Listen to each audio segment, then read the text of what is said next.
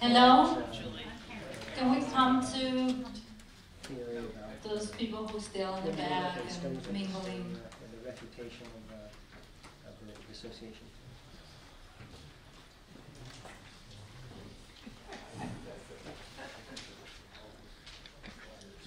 I'm Jacqueline Lopez. I'm the crazy person who decided to start EntheoMedicine out of um, feeling lonely in this journey, the journey of awakening. I was describing to somebody the other day. He was telling me I can do the awakening through meditation. You know what? I'm 53 years old, and I explained to him that there's two ways to get to the Kilimanjaro. One is you hike, and the other one you, you get there with a helicopter. And I chose to go the helicopter ride. And this community is starting to, to grow and is starting to create a momentum. So I so appreciate your support this community wouldn't have been here if it wasn't because of you, who went online and read or saw it on the newspaper, or perhaps I harassed you on social media, or perhaps I, somebody forwarded you some information and you trusted. Do you know how much that means to me? How much that means to me and Michael, my life partner? A lot. Just thank you for your support, for coming here today. I honor your presence by bringing the best speaker I can bring into Santa Barbara. Now I would like to introduce to you someone very dear friend, Emiliano Campobello. He's going to regale us a beautiful song just to set the mood for our speaker. Emiliano, welcome.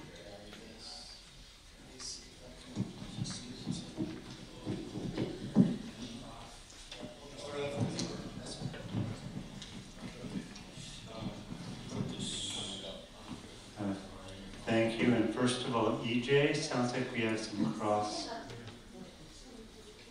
microphones coming through on the speakers right now. So I'll wait till that's straightened out.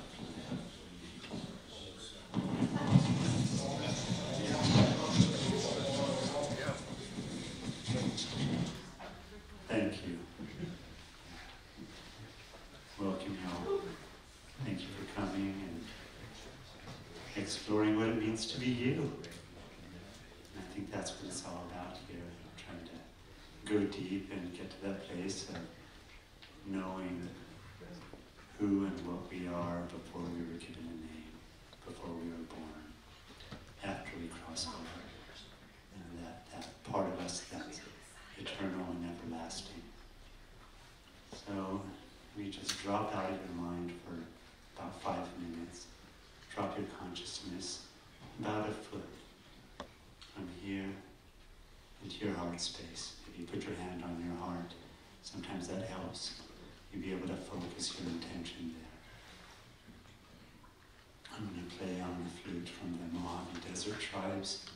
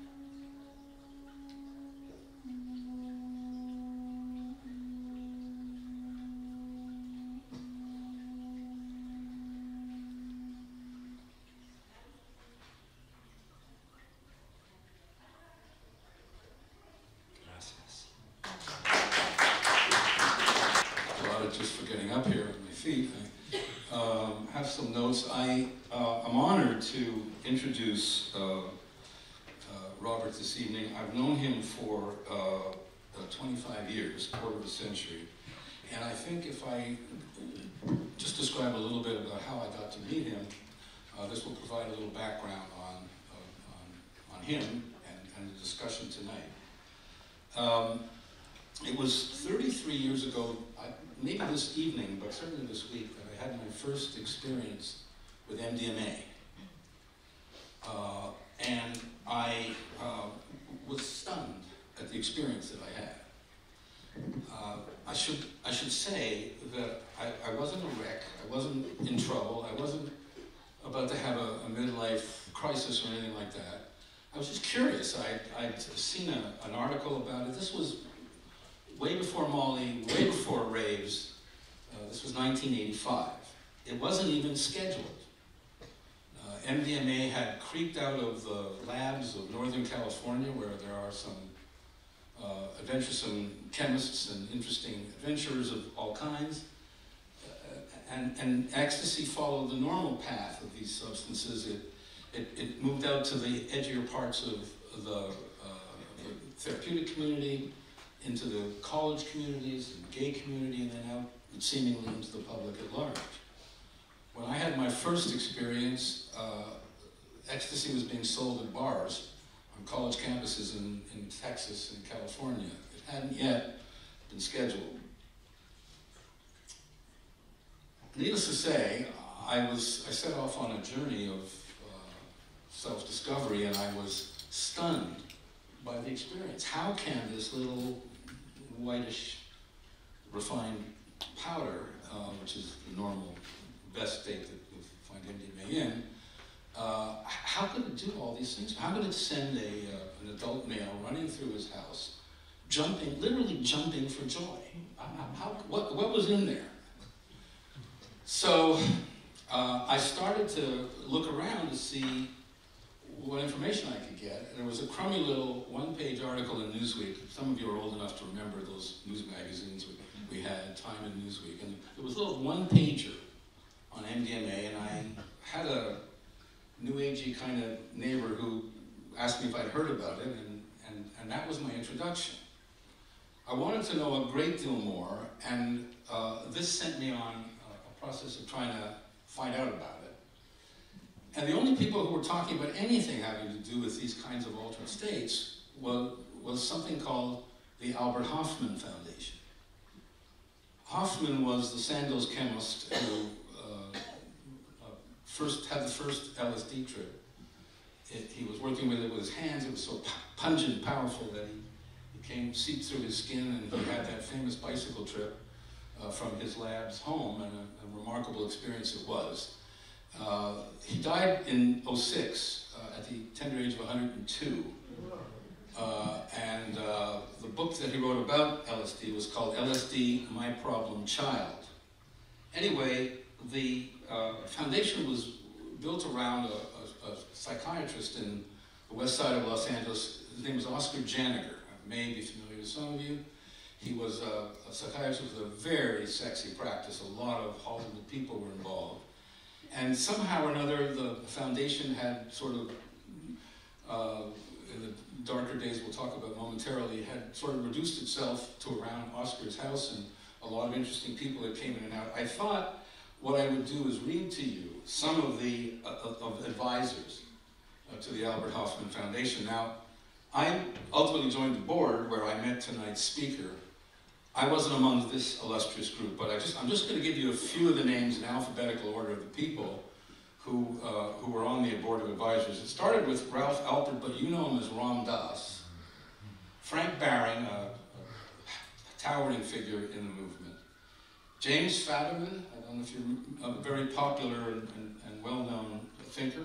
Allen Ginsberg, the poet, was on our board of advisors, uh, and uh, so was uh, uh um, Lester Grinspoon, a prominent Harvard uh, lecturer, Charlie Grob, who I hope will be speaking to you at some future convocation, who has worked with not only MDMA, but also has worked with psilocybin, with uh, cancer patients who are in their final uh, final days. Um, also, we had Stan Grof, a name to reckon with, a very, very powerful and important psychiatrist. And uh, if any of you are, are, members of the Noetics Institute, Willis Harman, who helped build that uh, uh, institution, was also on our board of advisors. Uh, Laura, Jean Houston was on the board of advisors, and so was Laura Huxley, who I can say, because I think it was publicly reported, that when Aldous Huxley died and passed on to the next realm, she dropped a little tab of acid on his tongue as he went through to the next, uh, to the next part of the journey. Uh, John Lilly was also on our board of advisors. Not only Terence McKenna, McKenna, a remarkable figure, and hopefully we'll be having a, a, an event built around his legacy, but his brother Dennis, who was also uh, an adventurer and, and, chemist. Uh, Ralph Metzner, Claudio Naranjo, and Humphrey Osmond, maybe one of the earliest names dealing with the psychedelics. Uh, Sasha Shulgin, uh, who, for any of you who have had any MDMA in the recent past, you can thank Sasha because he was the, the chemist who re, re, refound it uh, uh, a few years ago.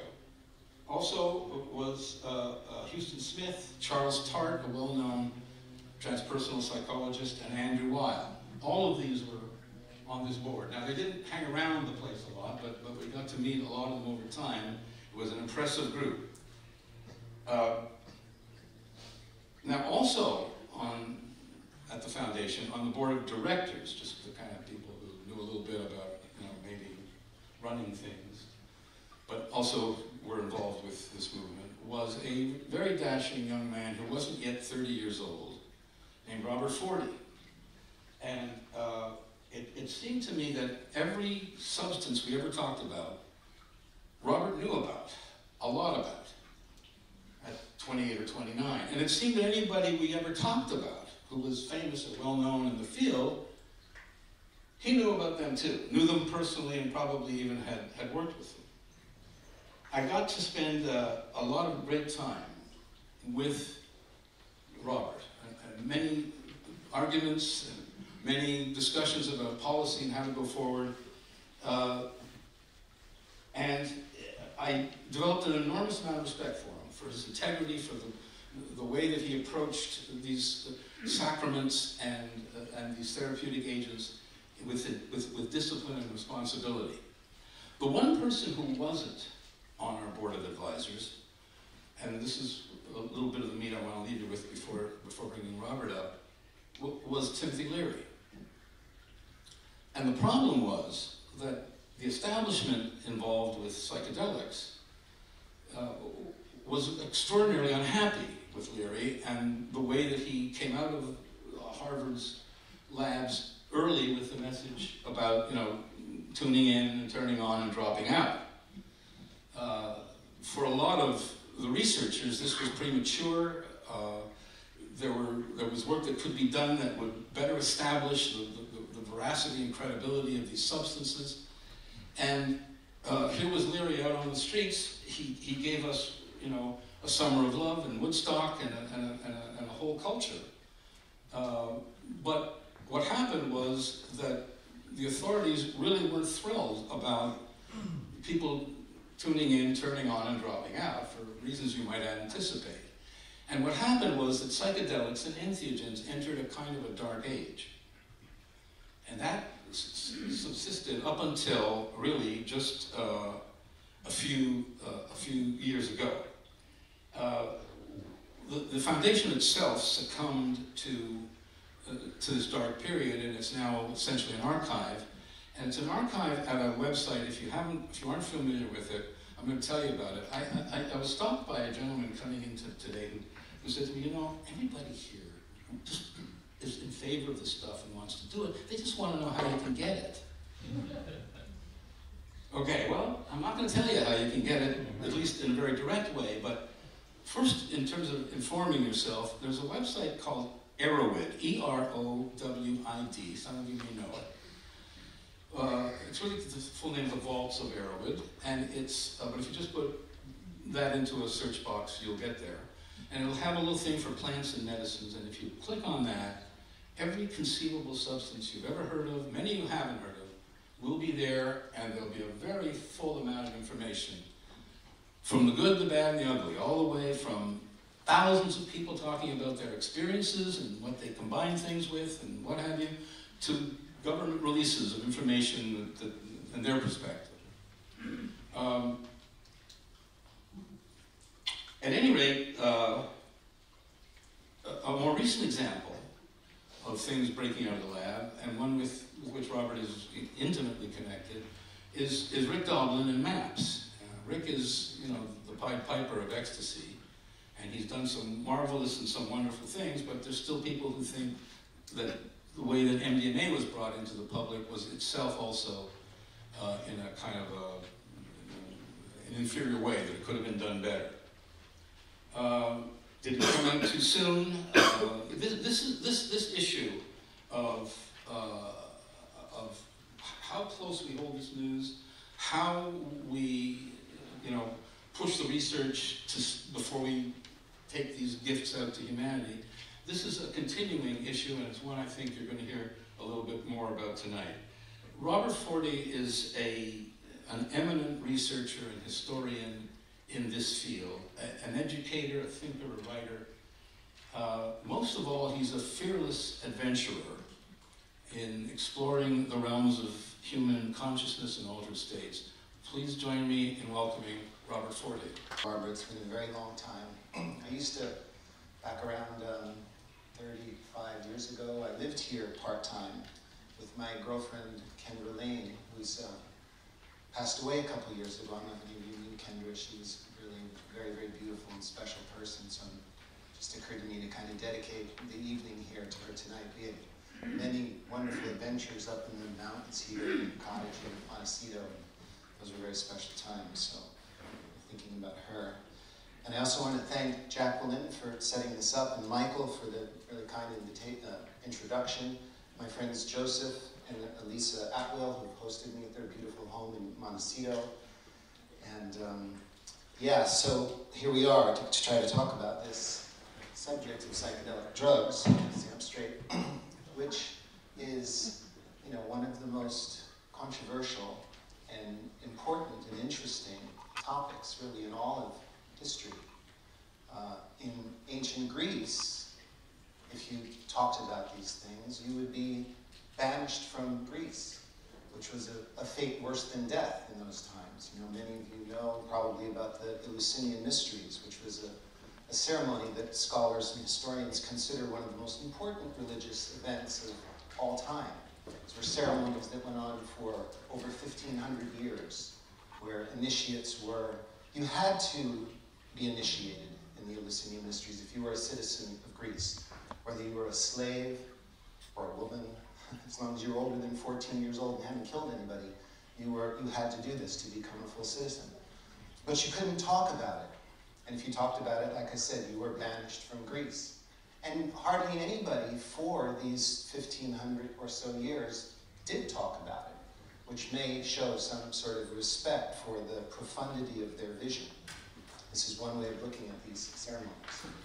Today, I mean, there are thousands of people over a million people, if you include cannabis, who are in prison or have been in prison, have their lives really uh, destroyed for messing around with these substances. Literally, technically, if um, something that I said tonight would encourage somebody to take a psychedelic drug and something terrible were to happen, according to the wording of some of the recent laws, I could be held accountable for um, instructing somebody in the use of a Schedule One substance. This is in spite of the fact that we're in the, in the midst or in some stage of what people are calling a psychedelic renaissance. And um, the major media is um, practically advertising these drugs. We're seeing, um, we're seeing MDMA being promoted for, um, the military is promoting MDMA to be used for post-traumatic stress disorder. That's something that I hope we can return to in a question period. Uh, we're seeing ayahuasca, which is, uh, you probably know, uh, a beverage used by Amazonian shamanism, which has very, very powerful effects. It's the worst tasting material in the world. but it has really incredible effects. Uh, a subject that I've dove into quite thoroughly, made uh, five trips down to Peru for extended periods to drink that. That is also being promoted in a, in a really curious kind of media campaign. We have celebrities talking about taking it. Uh, we have uh, it, it's appearing in movies, and um, and then the latest craze is um, or trend. I'm not sure what to call it yet. Is microdosing LSD. If you've seen this, if you've been reading the paper at all, not just the newspaper, but The Economist, Forbes magazine. Uh, there's a best-selling author promoting it. Uh, the New York Times, the Washington Post, all these conservative mainstream um, publications are coming out with these, um, you know, take, try microdosing. It's the new thing in Silicon Valley. There was a thing on CNN not long ago. Can LSD make you a billionaire? Talking about Steve Jobs' use of LSD.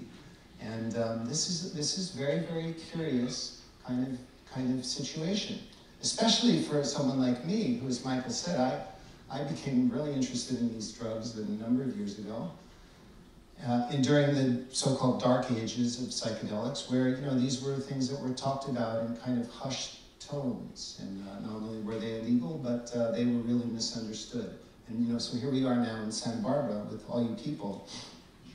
It's um, to me, it's quite remarkable. Now, I've um, I didn't really prepare a talk because I like to be spontaneous, but I I've had a million thoughts swirling around my head as I drove down from Santa Cruz and had a moment to myself, like when I was in the shower before, I, I gave a great talk in the shower. I thought what I would do is um, just try to give some structure to this um, and make a few points clear, and then talk about uh, my story, how I got into this situation, this research, and then step back a little bit and talk about the more general phenomena, the cultural phenomena, give a kind of history lesson about psychedelics. Um, like I said, it's a vast and controversial subject. It's also a subject that includes both extremes of human behavior throughout history. The psychedelic history is really a microcosm of the history of religion, I would say. And you know that religion is a subject that um, spans both extremes. We have the best of humanity within the heading of religion, under the heading of religion, and we have the worst. We have, we have teachings about enlightenment and immortality and how to live sanely with our fellow men and women. But we also have religion as a tool of tyrants, and it's a way to subjugate masses. It's a mind control technology. It's both. There's a yin and yang. I really appreciated, I don't know how many of you saw the the nice article that Ethan Stewart wrote in the Santa Barbara Independent. He's a very far out guy. We had a long conversation. I suggested, you know, save me the gas money, and he could give the talk here because he's really on top of a lot of things. And his phrase that he used, uh, the duality of our reality. That's a kind of that's a good good um, title for this presentation, perhaps. So. I don't want to be too professorial, although I have uh, been on the faculty of the University of California and the California Institute of Integral Studies. I want, I want this just to be a more informal kind of conversation, but I think it is important to lay out some, some frame here. when we talk about psychedelic drugs, I think we need to be clear if we're talking about, when we're talking about the, the effects of the drugs, the phenomenology, the experience, what do these drugs do to consciousness? That's one whole set of you know, ideas, and that's a, that could be a, a course in itself. But there's also the history of psychedelic drugs. You know, how they were used in ancient times, how they're, what the modern history is. That's another sort of category. Like when you go to divinity school, like I did, you don't just study religion, you pick a division. Are you studying the psychology of religion? Are you studying the sociology of religion?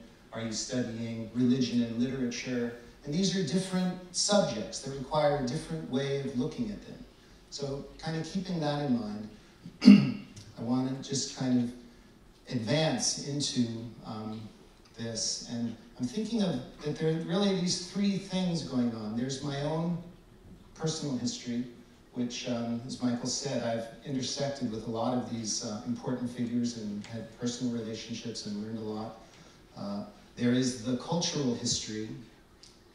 And then, most interesting to me, because we're kind of at cross purposes here, you maybe came to hear me talk, but I'm still a psychedelic researcher, and I'm curious what you guys are doing here, and what, what, is, what is the public? What's going on now? What are you thinking about? And um, I know that Jacqueline had, had suggested that we, um, you write down questions, which, which is a great way to do it because perhaps there's some anonymity that you'd like to preserve. But if it's okay, I'd also like a little spontaneity, and when I'm, when I'm done with the, kind of the first two parts, that we can have more of an interaction and exchange that way. So um, I just want to jump into where I'm coming from and why I'm up here and what really grabbed me about these substances. And you know, it occurs to me that I was interested in religion and the mystical experience since I was a very young boy. I remember my parents were, you know, kind of vaguely Catholic, and I had to go to um, Sunday school and I had to go to church. And I was fascinated by the stained glass. I have memories of being, you know, four or five years old and kind of looking up in the stained glass in our church. And, um, and the, you know, the story of Jesus and Jesus and the Good Samaritan and Jesus and the miracles and these things. And I have to say that when I was a kid, I really liked that Jesus character. I thought he was far out. I mean, this was a guy that helped sick people. He, uh, he could do miracles. I was into superheroes. He could do miracles. He had a girlfriend. I thought this was, I thought this was really kind of terrific. And so when I was young, I was super psyched when it was coming time for my first Holy Communion. They had nuns at OLM telling us, you know, this is a big deal. You're going to have a communion with God experience. I was terrified. I was thrilled. And then when it finally came about, and then you confess all your sins, you purify yourself. I confess sins I didn't even have. I was, I mean, how many sins do you commit when you're six years old? and I remember that day so well at OLM, Park Ridge, New Jersey, and getting in there and putting that thing on my mouth, my tongue, and it was like nothing. It was like cardboard. It was like I felt so ripped off.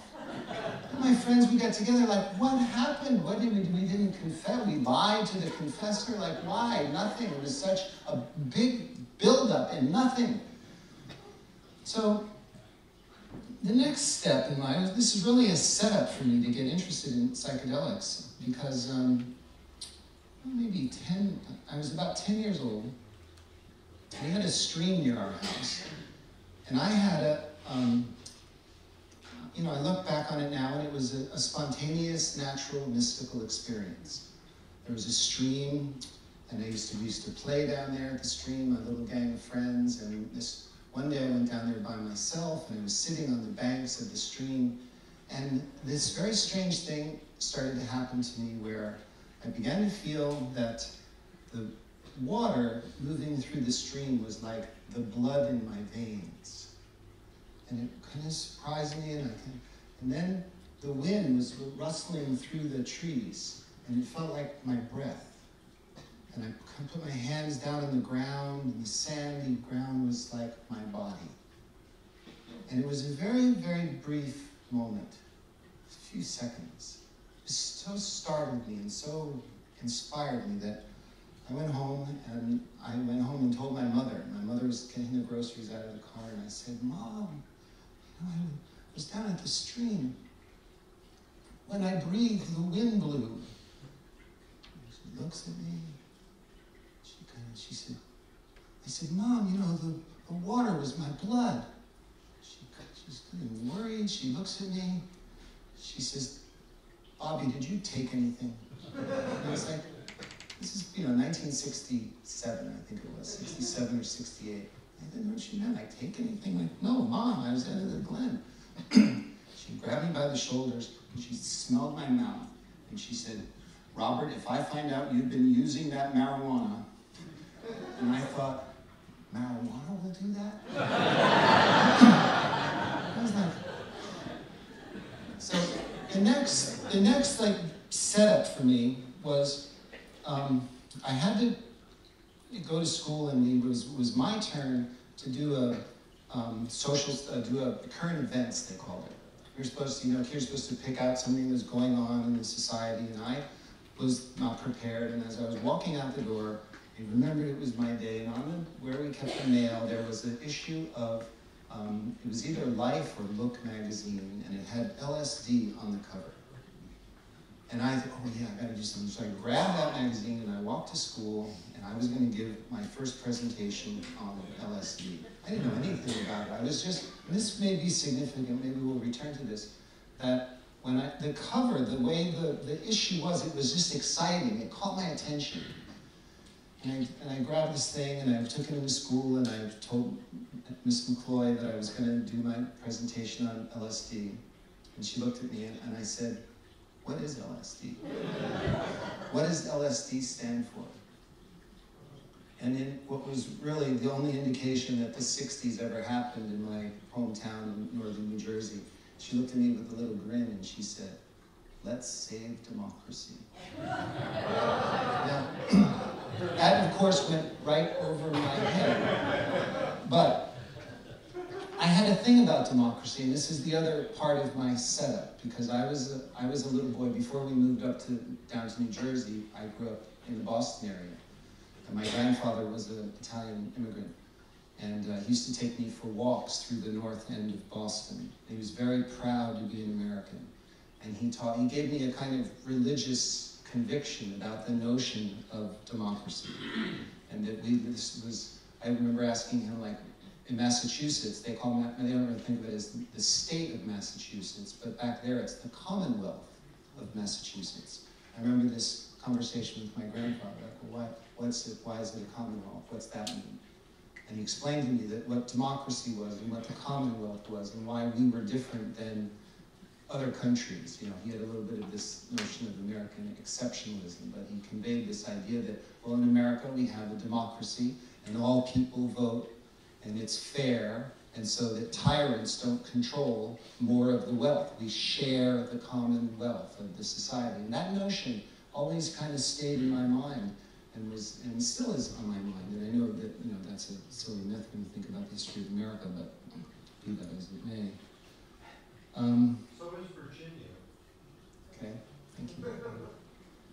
But I, um, so I had that little moment with LSD in fifth grade, and then time moved on, and I got into high school, and um, people started taking LSD, and I became aware of what it was doing to people, and it wasn't good. You know, my first my first feeling about LSD was, I'm never going to mess around with that stuff. That's going to that you know my friends. I was a little jock and a little nature boy, and my friends that got into it started wearing strange clothes. They didn't seem healthy. They just like it. It did weird things to them, and I saw that throughout high school. And I thought, man, that, there's some weird stuff. I'm not going near that. I loved cannabis was, since I was about 15 years old, and used that ever since. But LSD was um, a problem. The psychedelic drugs were a problem. And I felt that way um, until about my uh, end of my second or third year of college. I had begun to study religion. I, I took up the practice of meditation for the very mystical reason of trying to improve my golf game. And it did. It not only improved my golf game, but it improved my ability to study, my maturity. Maybe that was coming along anyway, but I got, I got in, really into meditation. And I became curious, how, where did meditation come from? who, how did ancient people come up with this very simple technology of basically concentrating your mind? And so I began to study the history of religion, and I will never forget. This I was going to Columbia University in New York City, and um, the first day of class, um, history of Indian Buddhism, our professor told us about the ancient Vedic fire sacrifice, and that this was um, a ceremony that went on thousands of years ago that involved um, the collection and preparation of a mushroom, of a drink that gave visions about the cosmic order, about how to live. And this is where the, the Rig Veda um, is composed songs about this sacred plant. And the professor said that um, this has mystified historians. What is this plant? Until fairly recently, that a Wall Street banker has come up with the most convincing theory for what Soma was. And I will never forget him writing this name on the board, wrote Gordon Wasson, and he was a Wall Street banker. And that kind of stuck in my head for a couple reasons. A Wall Street banker and hallucinogenic mushroom. And I thought all these years that I thought and I watched my friends and, and peers that this messed you up, But actually there is some kind of historical significance, importance that these mushrooms somehow expanded consciousness and led to meditation and yoga techniques and all of the techniques of Indian mysticism originate from these ancient ceremonies. And we don't really know what happened to Soma. It disappeared, and, and, and the initiates began to develop other techniques for getting into these visionary states. And I thought that was really very fascinating, so I left class and I went down to um, the Strand bookstore there on Broadway, and I um, I bought a bunch of books about psychedelic drugs. And I remember the first one I read on the subway that, that afternoon was um, The Joyous Cosmology by Alan Watts, with a, a preface by Timothy Leary. And that was really something because, you know, up till that point, I didn't really know anything about Timothy Leary. I thought he was just like a freaky guy. I remember him from uh, a George Carlin joke and I wasn't really paying close attention. I'm reading this, this introductory essay to this book on the joyous cosmology, and it really made a lot of sense to me. There was a major transformation in my worldview about these psychedelic drugs in just a couple of a couple of hours. Little did I know at that moment that I would become I would become acquainted with Wasson.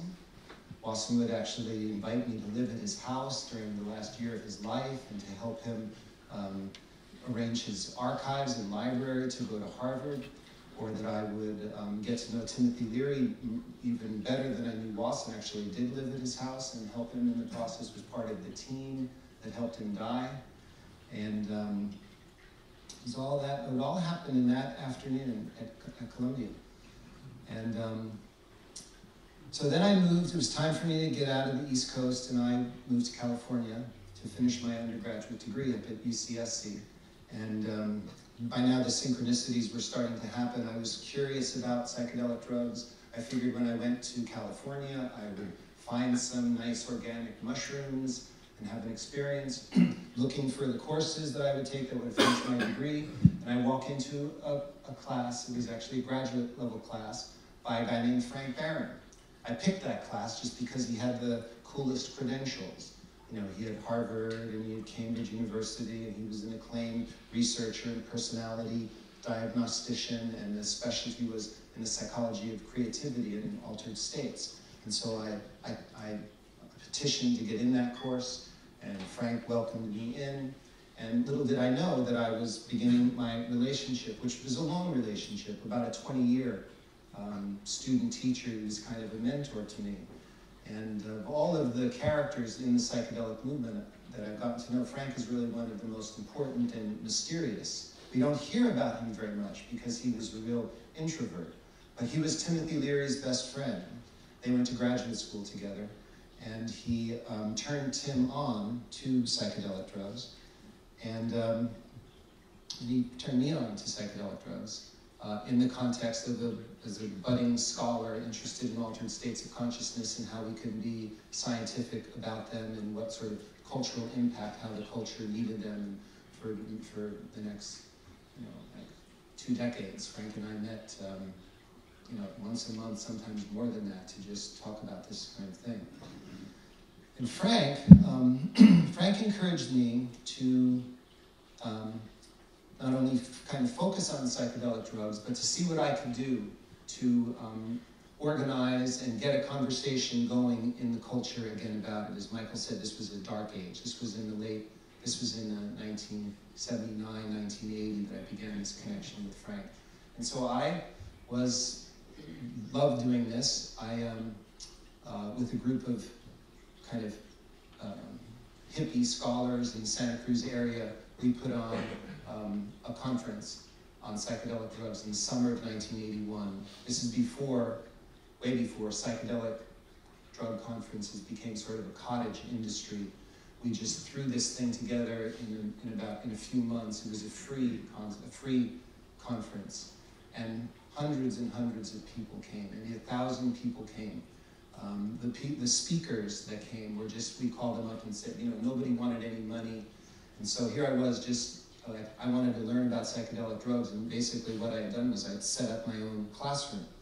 And we had Stan Grof come up from the Esalen Institute, and Timothy Leary was there, and Andrew Weil was there, and a, and a crazy young, bushy-haired Terence McKenna who no one had heard of, and Sasha Shulgin, and uh, Oz Janiger, and all these people that were really giants in this, um, in this um, field came. And I had, um, and that's also where I first heard of this marvelous new drug, MDMA, which at that time we just called Adam. It was not illegal. It was, um, it was manufactured by uh, just small chemists who had, um, you know, figured out how to do it. And it was a really, really special substance that I got quite involved in, um, setting up a laboratory at the University of California in Santa Cruz and beginning one of the first, I call it a quasi-formal naturalistic study where I had as much of it as I wanted, Alexander Shulgin, who Michael mentioned, who's like the godfather of MDMA. I just went up to see him. I was an innocent kid, and I said I knew that he was the guy that was responsible for this, and I went up to hitchhiked up to Berkeley to go meet him and asked him for some. and he thought that was funny. no, no, I can't do that. But I can teach you how to make it. so he taught um, my chemist friends how to make it and where to get the precursors off the books and really encourage this whole thing. And I, I made a promise that I would keep it low, and because um, those, this is now 1981.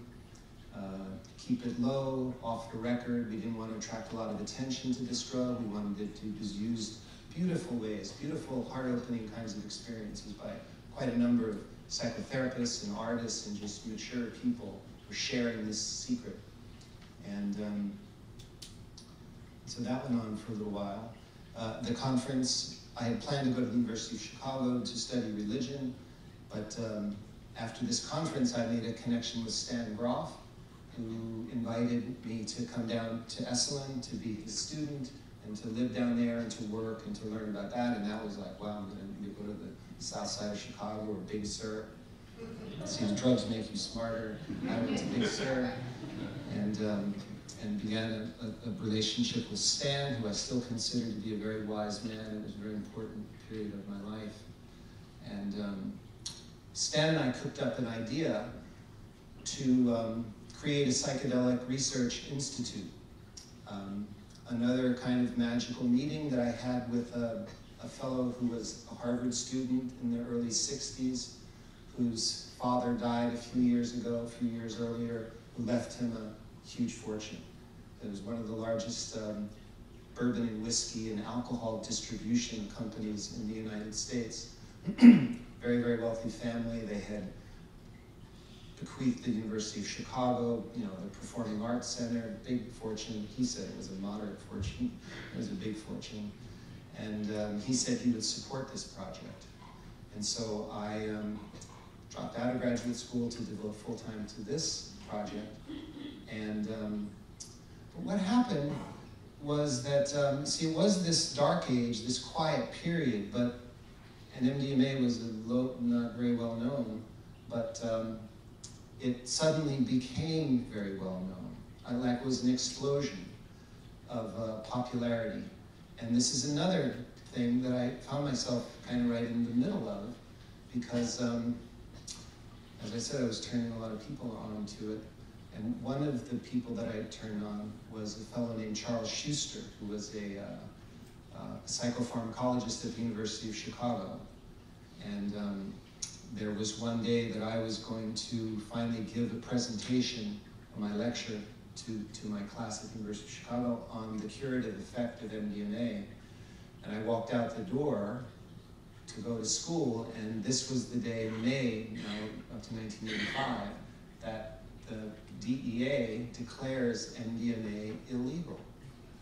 It was a sudden, we, we kind of knew it was happening, but there's the headline in the Chicago Tribune. By now it's known as ecstasy, some catchy phrase to hype this drug. Ecstasy declared illegal. And I read, I'm like, what the fuck?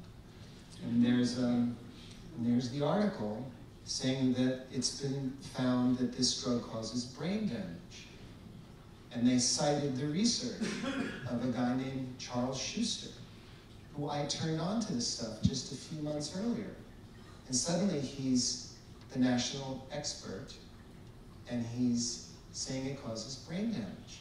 You can imagine the position this puts me in. I've been giving this stuff. I've been assured by people who knew that, you know, that small doses of MDMA, the doses that I was giving out, was not dangerous. I'm giving this drug out to professors and graduate students at the University of Chicago and other universities really value their brains in places like that. And now here's the headline news saying it causes brain damage. Whoa, I had some explaining to do.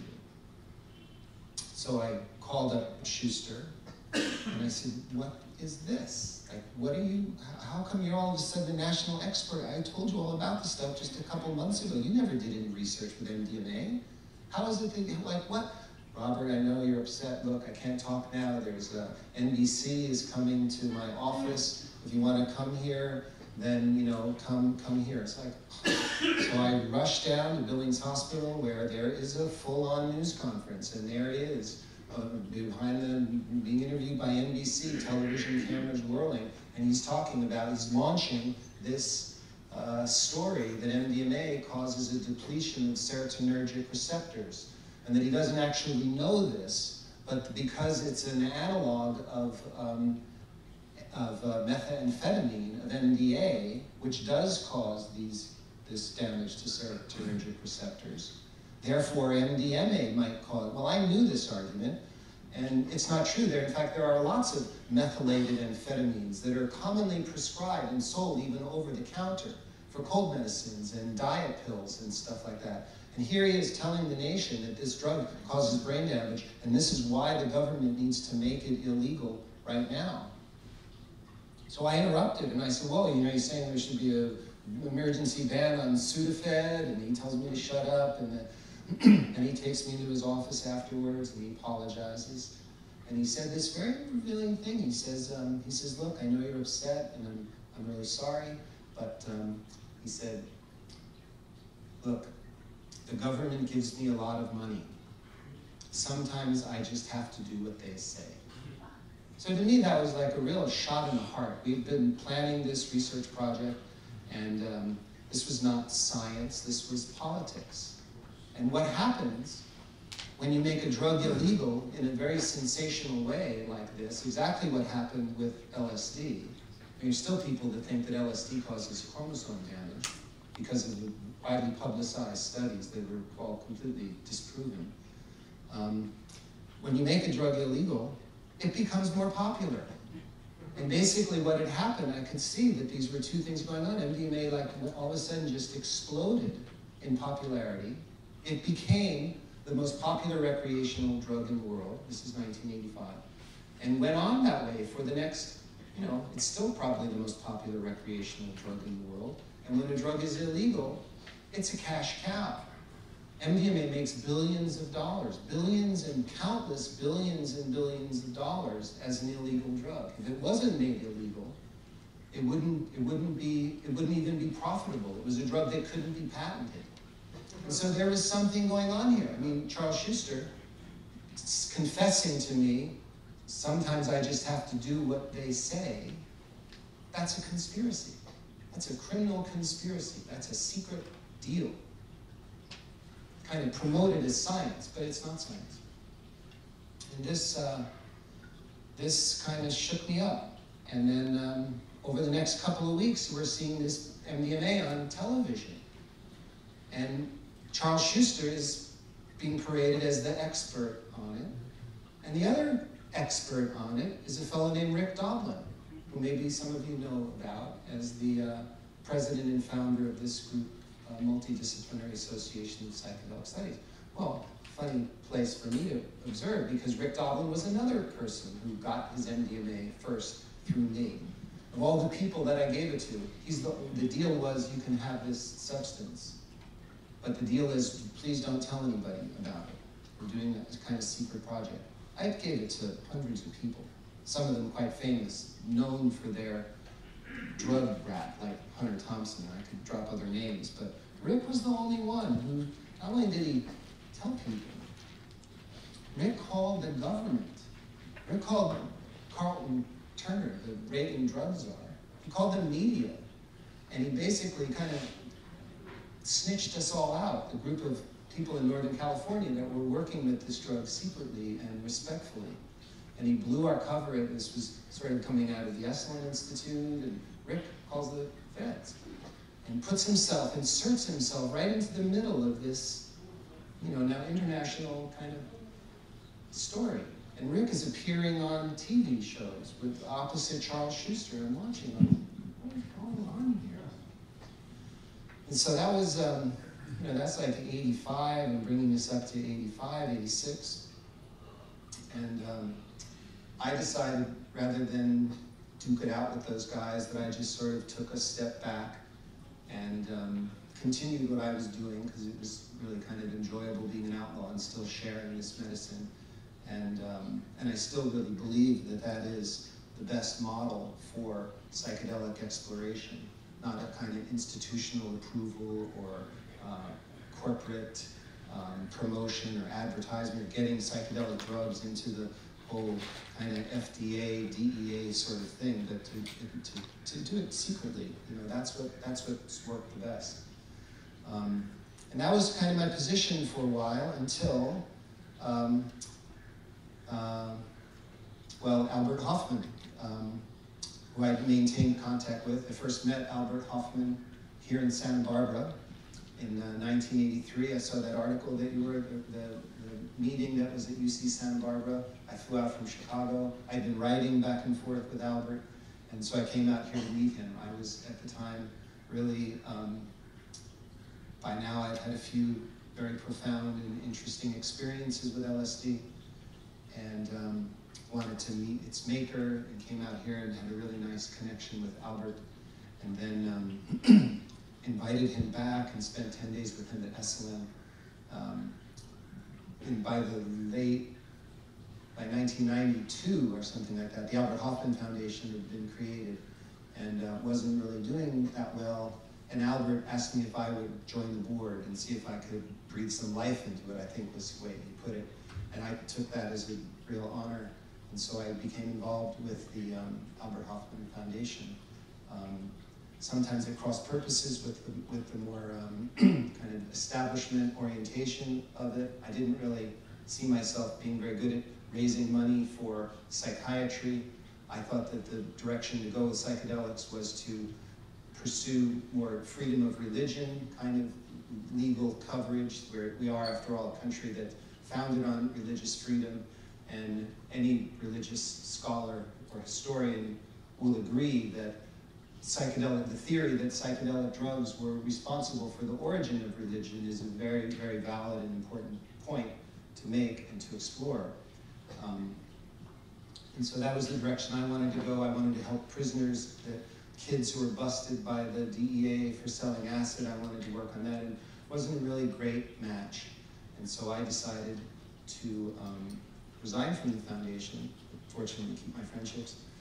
And, um, and then I, I also had to turn um, back to Timothy Leary, who I had gotten to know through Frank another one of these flips in my history because when I first met Tim, I think I said this, that he just seemed like a sort of burned out, kind of troubled guy. The first time I'd heard him lecture, couldn't believe this was a Harvard professor that was a charismatic leader of the counterculture. He seemed like a sort of just disoriented and you know kind of confused. Nothing inspiring about him at all. My first meeting, but um,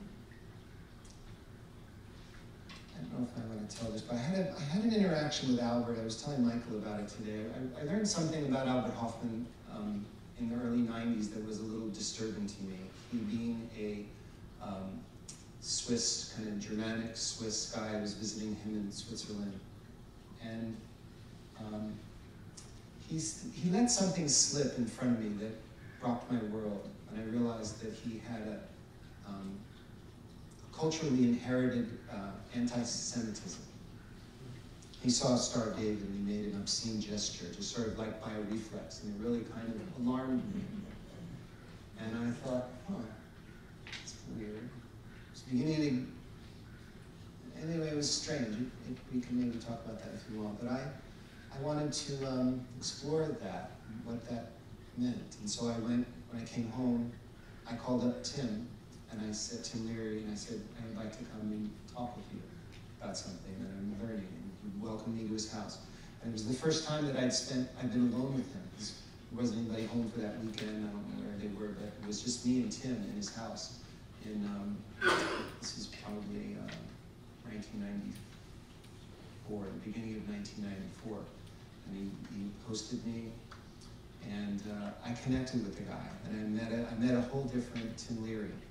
I met a guy that had just a kind of a quality of presence to him that was really quite um, impressive, and I and I and this is the point that I decided that I would do, that he was really misunderstood. I mean, I had, I had kind of bought that story, that, um, that uh, LSD and other, other psilocybin research was kind of going along fine, and then Tim gets into the picture and sort of blows it out of proportion, and it was Tim Leary who ruined research. And so my first introduction to the field, I wanted to be a researcher. Tim was kind of an enemy. And then you know, another 10 years later, that's not what I thought. I thought that, that actually the institutional consciousness and the, and the, that it was really that LSD and psychedelics were really more the, the province of, of, the, of artists and mystics, and that these are, these are our, our inalienable rights to pursue these states of consciousness. and, um, I, and Frank and I, of course, been having many conversations. Anyway, I just connected with Tim and so I decided that I would um, just explore that a little bit more, and then I, I produced a book about him, um, statements by his contemporaries about his legacy that I did over the times, that, over the, the year or so that he was, he just announced that he was dying of cancer, and so I, um, I was, you know, a small part of that scene. So that brings us up to 1990 something. And at that point, I just decided that I would step back from the whole scene. And, um, you know, that's, that is kind of when I retired from modern psychedelia.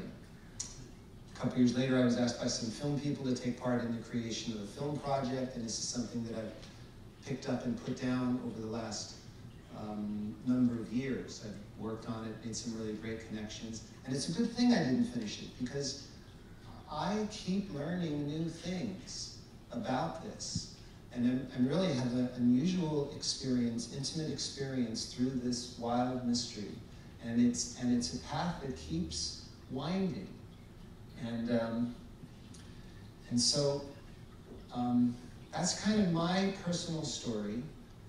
And now I want to kind of step back a little bit and tell you the history of psychedelics with kind of the new information that I've gotten over the last five or ten years mixed in with this. Now, how, how, did, how did this thing happen in the United States, the psychedelic movement, right?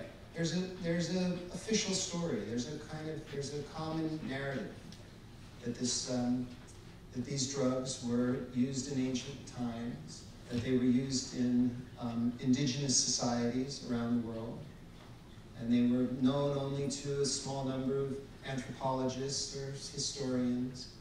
And then a number of events in the beginning in the, well, let's take the beginning of um, 1940, where, um, in fact, we just celebrated, I don't know if you do did in um, Santa Barbara, but we just came, we just had the 75th birthday of LSD. In Santa Cruz, they call that Bicycle Day. We, we um, well, you know, LSD was actually discovered in um, First, it was the molecule was found in 1938. It wasn't found to be very useful, and so it was put on the shelf.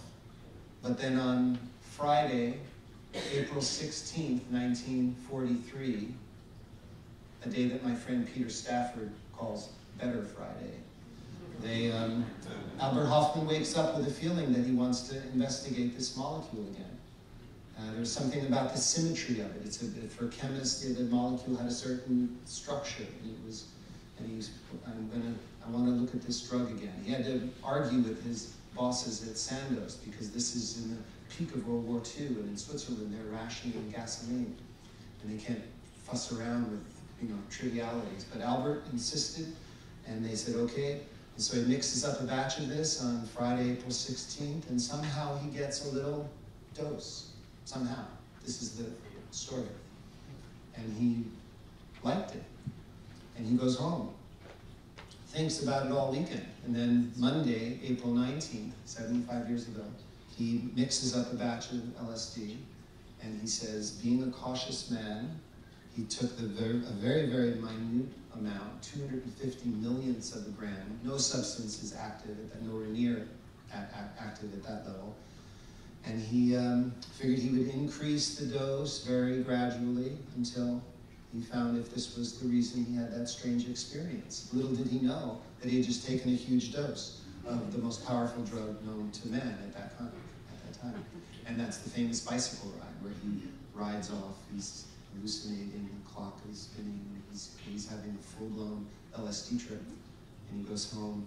And um, that is really the, you know, the, one of the most significant beginnings of the modern psychedelic period right there. There's a little bit of a backstory to this. Then this, this begins, you know, Gordon Wasson. How many of you know Gordon Wasson or know ever heard of that name? I'm surprised. Okay, so bear with me because this is very significant who Gordon Wasson is. Gordon Wasson was, uh, again, this, see, the psychedelic phenomena in this last century, beginning in this, with these events, the discovery of LSD, the introduction of the sacred mushroom, Aldous Huxley's publication of The Doors of Perception, these, and then Timothy Leary's popularizing, these four events really catalyzed this movement that some people consider, maybe accurately consider, the most, the, the largest mass mystical movement in the history of the world. These substances that were secretly used for bona fide mystical pursuits were suddenly exploded on contemporary society. Well, one of the most significant people in this was Gordon Wasson, a Wall Street banker. How strange is that? A Wall Street banker. Well, here's Wasson's story. He's on his honeymoon. Um, and he and his wife are walking through a meadow in the Catskill Mountains. And they see mushrooms growing on the ground. She's from Russia, and she sees these mushrooms and she says, Oh, Gordon, look, there. She calls them some endearing Russian name. And she rushes over, Oh, they're so delicious. And I'm going to put them in our, in our first meal. well, Gordon Wasson is, is uh, hates mushrooms. He's afraid of mushrooms. He he flips out. Tina, no, don't don't go, don't touch them, don't go near them. And she's like, she's a doctor. He's a journalist at this point. She says, oh, don't be silly. We used to pick them all the time in our my childhood. No, don't. He refuses to eat them. He thinks he's going to wake up a widower. It's their first day of marriage, and they have a big fight. And um, and she's like, what is? Of course, she doesn't. They don't die. They're delicious. They wake up the next morning, and they're amazed. Like, how come you have this love of mushrooms? And they realize it wasn't just Tina, it was all Russians. It wasn't just Gordon, but it was generally Anglo Saxon people in the English language. We have just a few words for mushroom. They're all kind of pejorative, right? Like toadstool or fungi. Or, but in Russian and in other languages, they have all these wonderfully endearing words, the little ones that spring forth, and they're wonderful sort of things. And um, so this was actually the first discovery in the field of modern psychedelia, is that some cultures and some people are mycophobic, and the others are mycophilic. And they thought, well, this is going to be our hobby now, to figure out why this is so. Why do some cultures love mushrooms? Why do some people hate them? And they had this hunch that this was because of the power of the feeling that this was, you know, maybe harken back to some ancient religious cult or religious taboo. They, and so these two, this couple, began this hobby of studying mushrooms. And they were very accomplished and, and rigorous and brilliant people. And they began to do this um, whole study of mushrooms. And they became um, world um, renowned for their mycology. And about um, uh, 20 years studying mushrooms, they become introduced to um, the fact that there is a exist a culture still um, practicing mushroom religion, using mushrooms in religious ceremonies in the highlands of southern Mexico. And they embark on this expedition, and they go down there um, with uh, a whole crew of, uh, with a photographer, not a whole crew, one or two photographers, an accomplished New York City fashion photographer named Allan Richardson. And they go down there, and they um, they become the first white people to deliberately ingest this sacred mushroom, and they write an article that gets published in Life magazine, okay, one of the most popular magazines in the world, owned by Henry Luce, who happened to be one of Wasson's friends.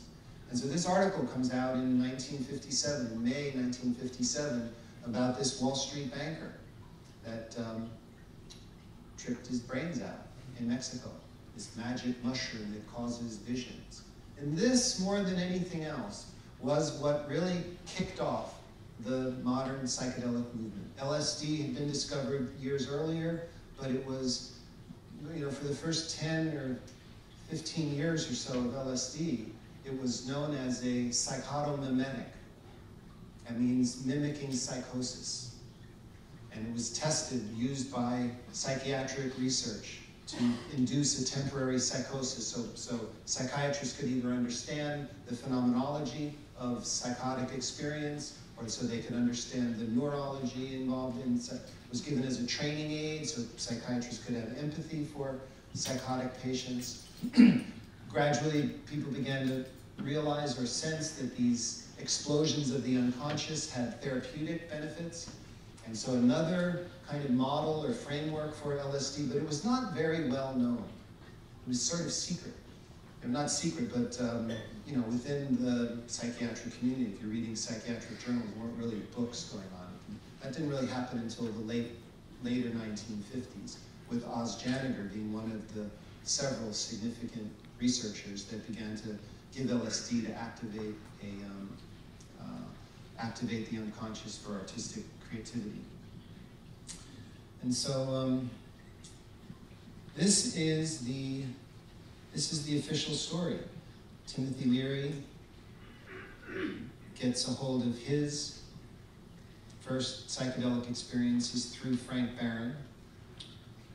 When Frank had his first experience, he tried to convince Tim. It took him a year of convincing before Tim agreed and then took it. And then once Tim had his first experience, he um, really went for it. And uh, although at this time he was an acclaimed psychologist specializing in a, a new model of psychiatric, of uh, psychological research and therapy that involved more like interpersonal stuff, rather than there being a, uh, a psychologist that would be the authority and work with a patient, this power dynamic. Tim wanted to change all that.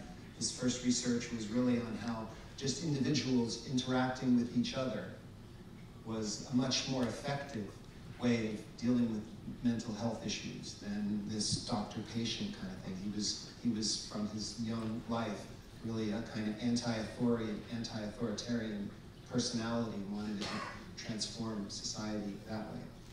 But he got his mushroom experience and um, it completely changed his life and swept his desk clean of, uh, of all that interpersonal stuff. And he and Frank Barron started the psilocybin project at Harvard. That got really um, crazy before too long. And Frank left and went back to Berkeley. Tim hooked up with Richard Alpert, who became Ram Dass. They got more and more outrageous. And um, Harvard eventually fired them. And that was just like with MDMA, the Harvard firing, this very sensational firing. Harvard hadn't fired any faculty members for since the 1800s. Uh, this launched the psychedelic movement, putting LSD and psilocybin on the front page news, and really kicked off this whole counterculture. And um, within a few years after that, the federal government not only was, you know, firing of Leary, but then the federal government enacted these laws that made psychedelic drugs illegal for doctors and researchers, but making them available only to the youth, the hippie movement. I mean, it's a completely, obviously dysfunctional form of uh, legislation. So obviously um, to backfire that you have to wonder if that was really their plan. Okay, now I'm going to just step back a little bit because here we, that, that's the official story, that's the common narrative. When you, when you read the papers today about the psychedelic renaissance, they're formulaic. Oh, psychedelic drugs were showing great promise in psychiatry and in religious studies until Timothy Leary blew it. And now we've had all these years, and now finally, you know, Rick Doblin will say this a lot get rid of the ghost of Tim Leary. Let's get these drugs back into the laboratory. Let's get them back in the hands of, of credible professionals. And let's, you know, just, we're really, and this is, and this is the official story. Well, I'm realizing, like a lot of official stories that underlie our culture, that this is not a true story. That there are aspects of it that have been hidden. And it's, I think it's important really to bring them out. And when I, when I get into this little part of it, I want to be careful. And you know, when I, when I spoke with you and Michael about this, that I'm, I'm a little bit concerned about public speaking about psychedelic drugs because some of my views now are challenging. They're challenging to me. They put me through a, you know, a whole reconsideration. Um, I have these two opposite ideas that exist at the same time.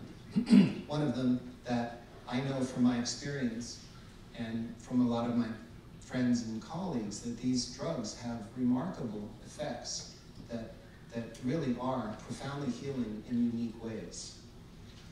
Not only in terms of mental or um, mental issues, but physical issues. I mean, I did, I did some field work where I took cancer patients down to the Amazon and was able to demonstrate results that, that um, cancer patients showed measurable improvement better than their Western treatments by, um, by more than five-week immersions in traditional medicine. Um, I know many people that have had um, glimpses, you know, mystical experiences, realizations of things through the proper use of psychedelics. These drugs have really profoundly beneficial properties. But the information that I'm having to digest now is um, back to Gordon Wasson and this episode of the article in Life magazine that started the psychedelic movement. The undoing began when, um, for me, in the early part of this century, I um, was given some money to begin to research a documentary film project. And I, I knew that Gordon had died, but I, was, I remained in contact with the family.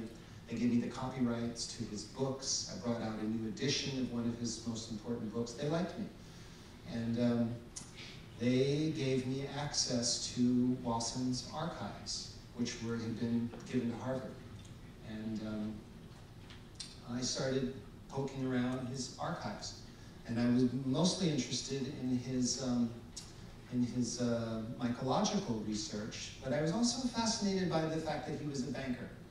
And I, I kind of wandered off and began to look into some of his correspondence and some of his other stuff, and I began to look at some of the people who were his close friends and colleagues. Now, Gordon wasn't just a Wall Street banker. Gordon was in the very inner circle of a, a group of um, Americans in the post-war period that were close allies to the Third Reich. I don't know how much you guys know or study, you know, modern American history, uh, but, but the, the um, you know, the post-war period, the end of World War II and the post-war period is a very important time to understand about American history. You know, you probably know that the, the, the Third Reich was doing their thing in Europe for a while, and the Americans were just kind of sitting on the side. Well, that's because there, really there were a lot of allies and supporters of the Third Reich and Hitler's agenda in the United States on Wall Street.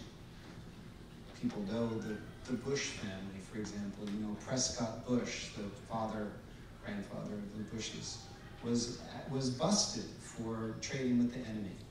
A lot of very powerful um, figures on Wall Street and American media that were like the Nazis, and they wanted that. Joseph Kennedy, John Kennedy's father, was one of them. William Randolph Hearst was another one. And so as, as the war, and then America finally does enter the war because of Pearl Harbor, another curious event. Um, as America is there starting to defeat Germany, what happens is that some of the German um, elite begin to defect to the United States and form relationships in the United States. And um, I don't want to get so far into this, but this is, this is where the CIA comes from. CIA is basically composed of um, uh, Nazi refugees that came over here to resume the globalistic agenda of the Third Reich, sort of what George Bush called in 1991 a kinder, gentler New World Order. There's a lot of books written on this, and it's a very dark chapter, and it's, it's um, but Wasson's, Wasson was right in the middle of these guys.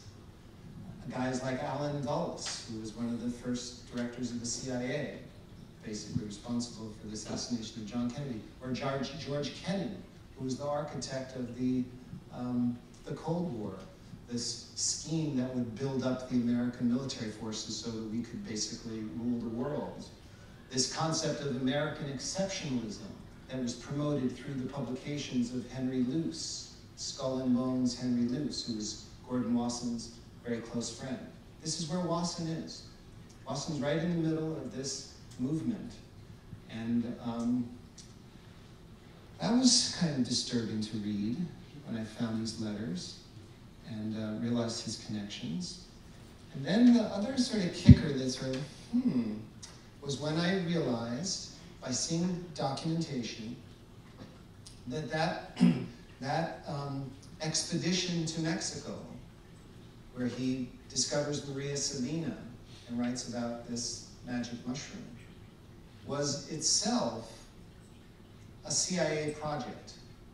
The official story there, the one that Gordon told, the one that he told to me, I had a long interview with Gordon in my first book, and I asked him about the CIA because we, the kind of official story was that the CIA had infiltrated, they snuck into his expedition, they tricked him.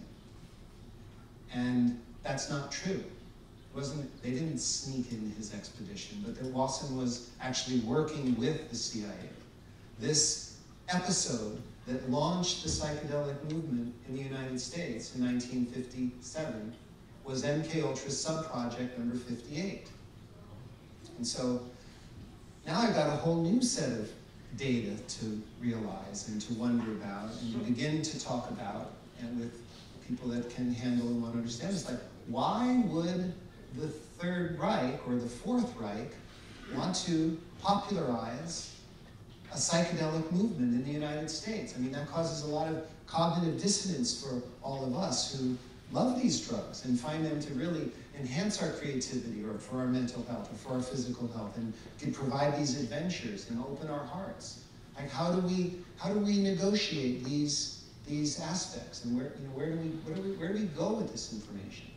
Well, a lot of people just not a lot, but some people just call me a conspiracy theorist and leave me alone. But there are a lot of people that are becoming more and more engaged in this sort of inquiry. Why, why, is, why, why did this happen? Why, are, why did this happen? And, and, and to really answer this question, you have to get into another character that I didn't talk much about, but that being Aldous Huxley. So we were all, you know, if we all grew up in America, you know, we were all kind of learned that Aldous Huxley, this wonderful writer and progressive intellectual who wrote so many great books, many of them that we were required to read, um, maybe wasn't all that wonderful a guy in terms of democratic ideals. Maybe Huxley was actually, you look at his family and his connections, he really was like a eugenicist. And maybe he had um, connections with the, the, some of the secret societies that gave rise to the Third Reich. And you look at Huxley's career, and Huxley's first book about psychedelic drugs is Brave New World, of course. One of the most um, banned books in America. On lists of banned books, when that book came out, it was banned. Um, why was it banned? Well, it was banned because of the sexual promiscuity that it talked about. But, you know, as you probably know, that's one of the central features of this Brave New World scenario is uh, Soma. What's Soma? Soma is a drug that they give to the masses whenever they begin to feel a little restive about their predicament. How come you guys have all the money and live in those big houses, and we have to stay in these little tiny apartments and work all day and not really make much money? Oh, you're upset about that? Time for you to go to Burning Man. I mean, go on a Soma holiday. Time for you to go on a Soma holiday. And you've got to take this drug, and it's going to make you feel like everything is okay, even when everything is not okay and you're gonna you're gonna have wild sex, indiscriminately, loveless sex, and by the end of the weekend, you're not really to be thinking about politics or what's wrong. You're to you're to be sort of exhausted from all that, and so I just want to kind of leave you with that because this is what um, one of the things that I've been contemplating quite a bit. And like, where? So what is going on here? I mean, it's it's easy to see some of the relationship between the Brave New World that Huxley depicted and the and the modern society that we have today. And some of these and then I wonder why is the mainstream media the same mainstream media that that um, markets all this war propaganda?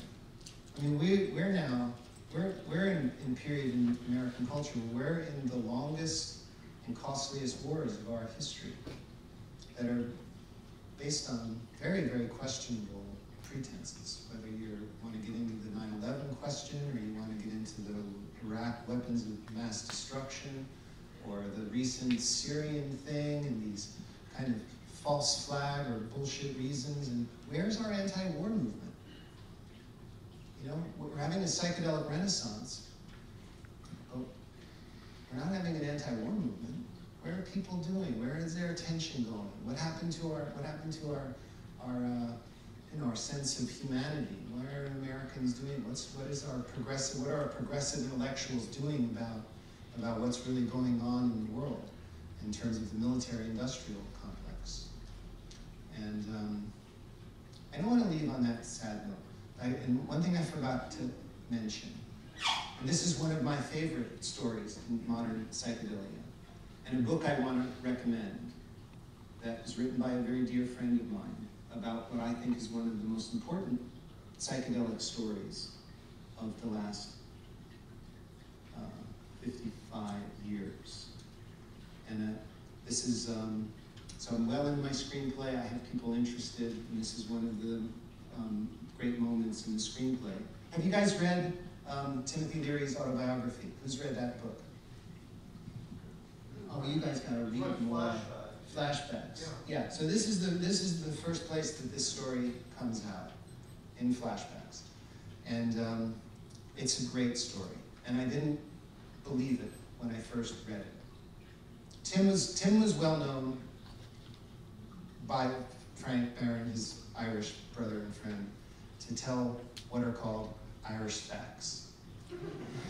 So Irish facts, you know, they're not necessarily true, but they're exciting.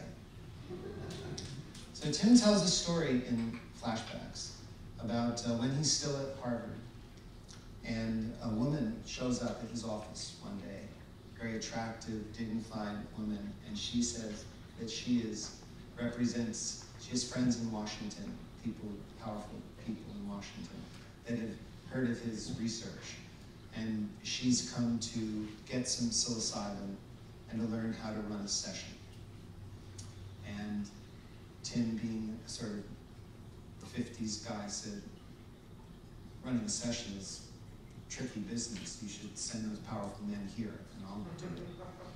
And she says, out of the question, you want to do this. We've heard your talk about world peace. If you want to do this, through me.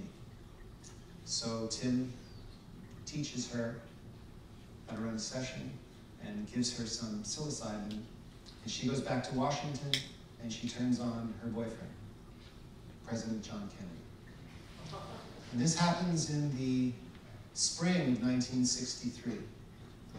Now Kennedy, you, you probably know, or maybe ought to know, you know, was elected president on the same kind of Cold War, beat the Russians, American exceptionalism platform that everybody else had been running on for the last 60 years. But he started to shift and started to realize, you know, maybe there's another way to do this. He kind of got a taste of his own power as president. He didn't listen to his father. He was betrayed at the Bay of Pigs. He fired Allen Dulles. He said, I'm going to splinter the CIA into a thousand pieces and scatter it to the winds. And then his lover, wasn't just like one of his lovers that he, you know, did in a closet, but Mary Pinchot Meyer was a significant person in American history.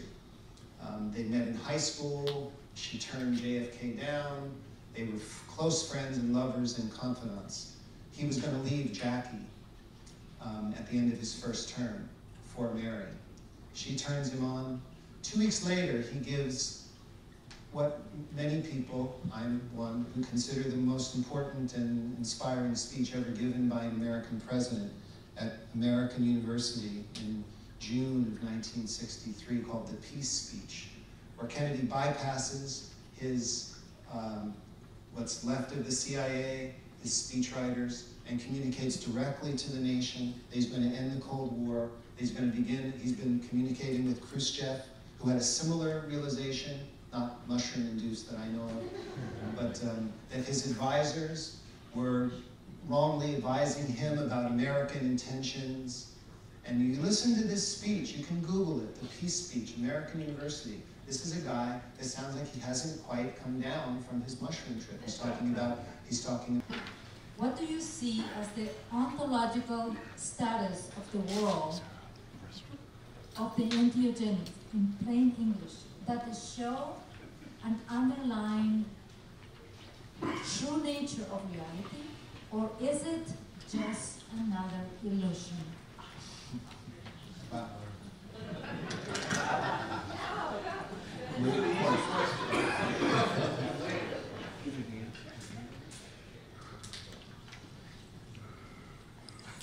You know, in um, there are um, stage-specific understandings. I, I, was just um, talking with a dear friend about this kind of thing. Um, you know the Upanishads? Upanishads, a body of writings from um, sort of ancient India.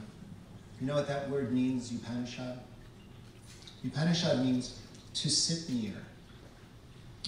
Because um, some questions like this, like, is it all, are we all one? Is reality an illusion? These sorts of heavy existential ontological questions. The answer for one person might be one, might be relevant, but then another person is completely different. There's a, in, in Hindu philosophy, there's this concept, ashrama dharma, stages of life, the truth about the stages of life. So it's really kind of silly to say that it's all an illusion. Well, it's all an illusion when you're um, about to die, maybe, you know, or it, you know, it's all an illusion if you're obsessed with too many things.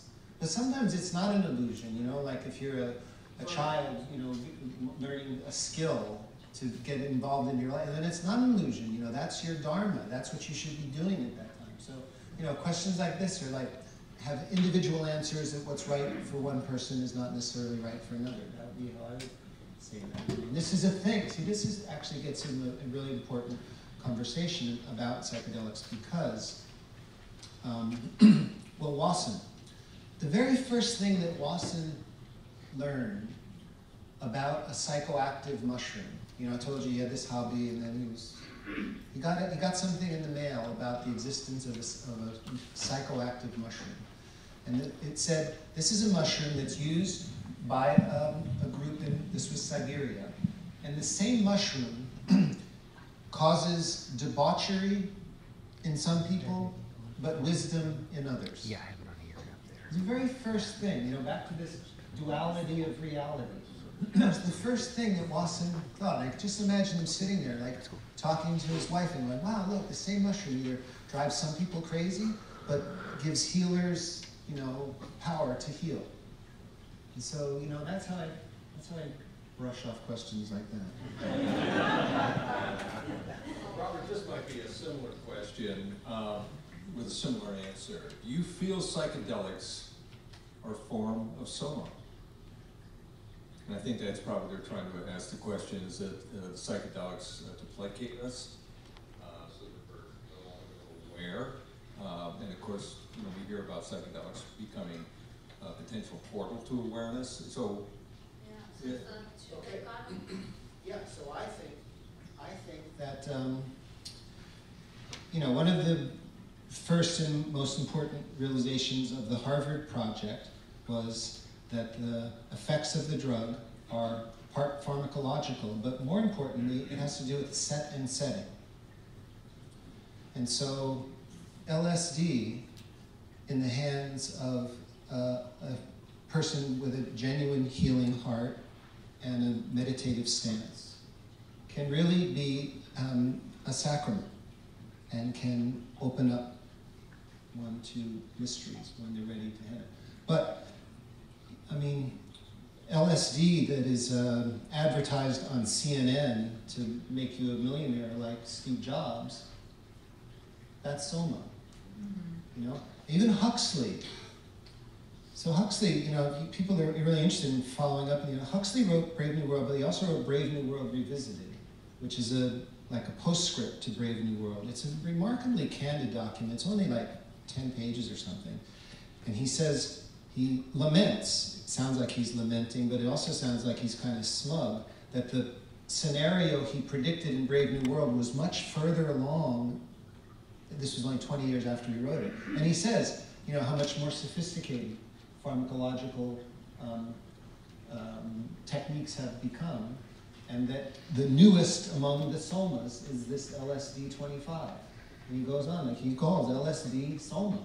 You can Google this, LSD Revisited. It's a chilling kind of document to see what, what's there. So um, when I, I said this before and I'll say it again, when I see the mainstream media pumping psychedelics, as when I see them like advertising, you know, ayahuasca, and um, you know, and I think actually the, one of the best examples of psychedelics as soma um, is the publicized use of MDMA to treat post-traumatic stress disorder.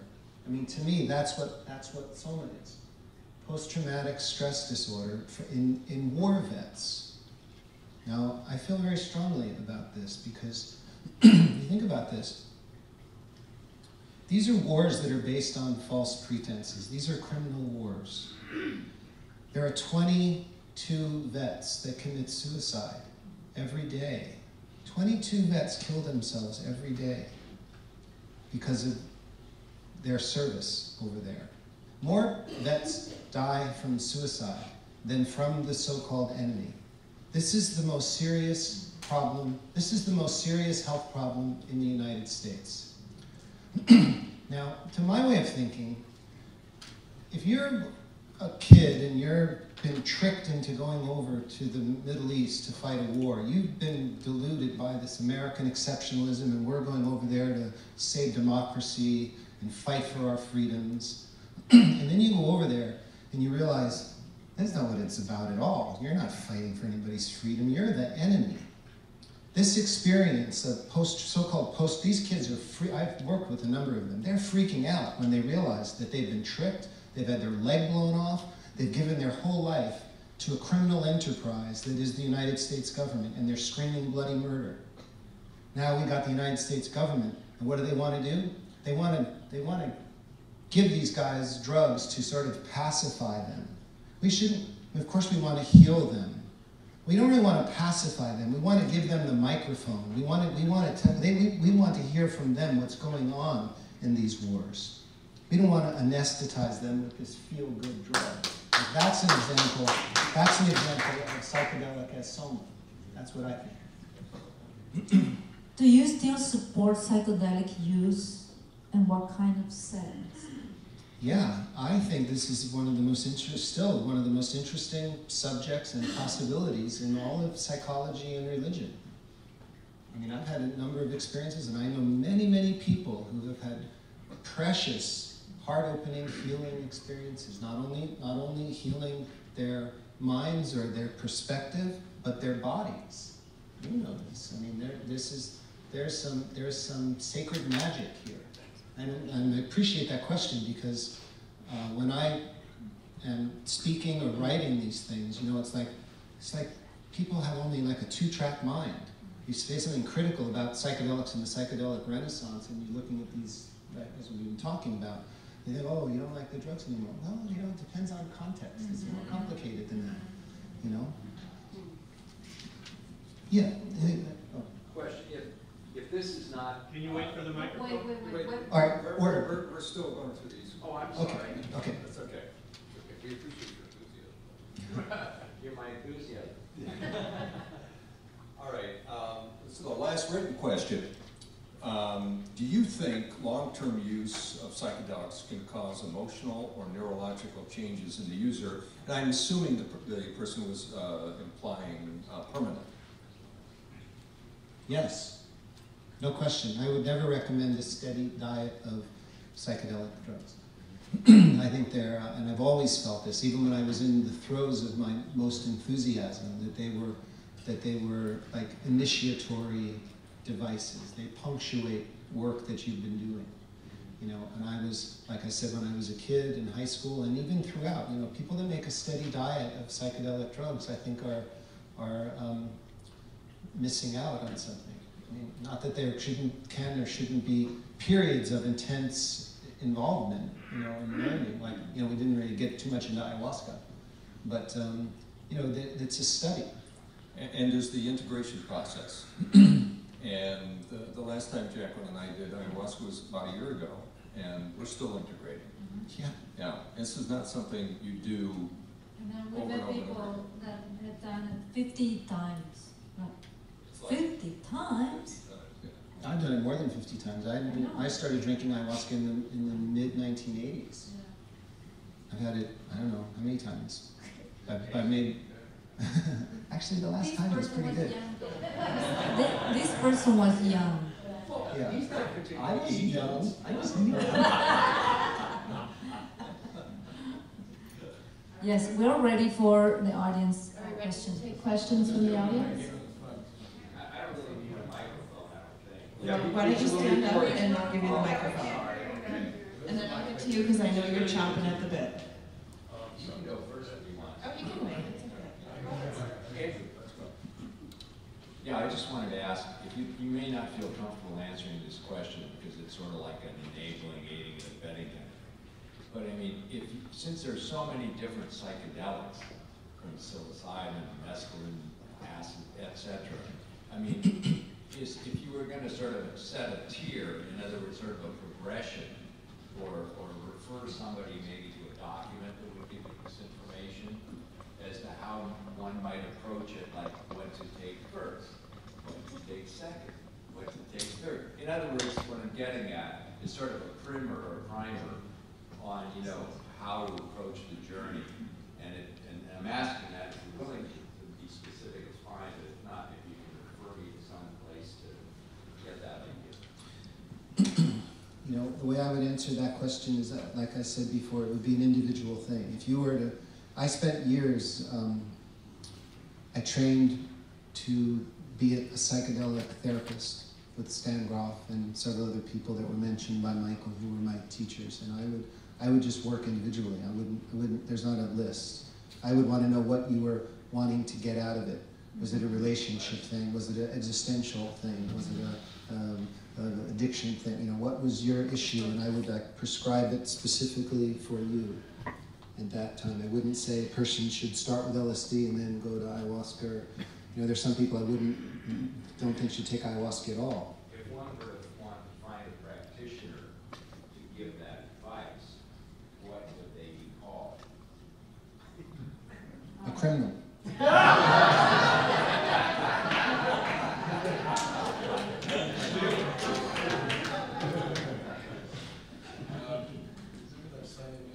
Uh, Hi, Robert. Um, We're getting some echo back here. I, I, you alluded to uh, Gordon Wasson's uh, employment by MK Ultra, or at least his, his uh, trip was paid for by the organization. And those who study it know there is a tremendous amount of overlap between an organization in Britain uh, called the Tavistock Institute. And in fact, many of the doctors who worked on this side of the, of the pond with MK Ultra actually went over to Tavistock, and there- they were some kind of relationship. Now, this was in secret because the government didn't want the operation to be publicized. Um, and you, but you brought up the fact that Wasson had actually, you know, received money from the organization. And so I have another point of data about the organization that I've never been able to understand, and I was just hoping you could explain it. Um, in 1960, uh, Robert Hunter and Jerry Garcia were leaving at night uh, Palo Alto Hospital, one that uh, the MK Ultra organization was using. And of course, Hunter was known to have been, his, his opinion, or his statement was that he was an experiment uh, person who was taking LSD. But they got in a car accident right outside the parking lot, and there was this police report. Um, You probably have seen it. Um, and in the car, there was Jerry Garcia, Robert Hunter, that makes perfect sense, right? The Grateful Dead guys. But there was also Alan Trist. He was the third guy in the car. And his father was the founder of the Tavistock Institute. So I just thought I'd give you an underhand one here and let you explain what was he doing in the car with uh, Jerry and, and Hunter? So, well, you say Joseph Atwell brings up many issues here that we didn't get to yet. And, um, you know, first of all, the Grateful Dead as being one of these. Um, I love the Grateful Dead. I didn't really like them until I took LSD. Um, but then I, the Jerry Garcia, it's a very complicated story. I mean, I love the Grateful Dead music, and I've been convinced now through, you know, again, it's a kind of official, the official story is that the Grateful Dead um, and Allen Ginsberg um, and Ken Kesey were, got their first LSD as volunteers in a CIA-sponsored project. And then what happened afterwards was a sort of unintended byproduct that these guys, you know, Ken Kesey said, wow, this is great. I'm going to go start my own thing. But now I'm, now I believe, think, entertaining this, pondering this for now several years. And I knew some of the Grateful Dead and, and um, used to hang out with Bill Kreutzmann and I um, known John Perry Barlow, who was one of the original members of the Grateful Dead, who admitted to me, he died just a few months ago, admitted to me that he's been a CIA operative for quite a few, number, like two decades. John Barlow told me that over coffee after serving me dinner. Um, and so then we got to look into this, like what. So this is another kind of soma thing. Like this was not an unintended. This was this was the direct. This was the intention to create a counterculture that was really more like a, a cul-de-sac. And um, And I, you know, I, that's hard for me to, that the cognitive dissonance for me, because I love Jerry Garcia's music, but then when you learn certain things, again, by seeing the documents, and we really like to approach these kinds of conspiracy theories with the discipline of a scholar or a criminologist, and you see the documents, you have to wonder, like, this, this piece of information, like that one to me, okay, so Trist is in the car with Hunter and Garcia, and Trist's father was the founder of the Tavistock Institute. Tavistock is also one of these, you really, if you want to get into this, you got, I'm not entirely satisfied with the documentation on Tavistock, its relationship to these secret societies. I'm just learning this more from you, mainly, but a lot of people. That, uh, but just because his father was, I mean, my father voted for, you know, I'm not going to say. Um, but it's very, it's a very important line of inquiry. Jerry Garcia said in an interview in, um, uh, I forget when the interview was, but Jerry Garcia broke up the band, wanted to break up the Grateful Dead in the mid 70s, and he's quoted in an interview in the, I think it's the San Jose Mercury News. Jerry Garcia didn't want to be part of a CIA project anymore, you know, and so he said that. Well, what do we do with that information? You, you study it, you form a, a, hermeneutical circle with your friends that have access to similar information, that have this kind of curiosity, and you study and you write and you develop a field of inquiry about it. You know, that's what I would say. You'd be very wary of fixed ideas and to approach this with a you know the discipline of a scholar, like you do. And um, but that's important information. Did I, I mentioned Jerry Garcia having you know clearance, having security clearance, U.S. military security clearance. Why is that? Here's the document. Jerry Jerome Garcia have a special clearance. What does that mean?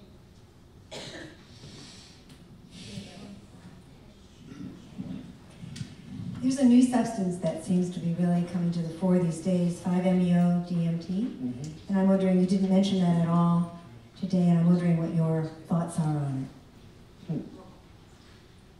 Yeah.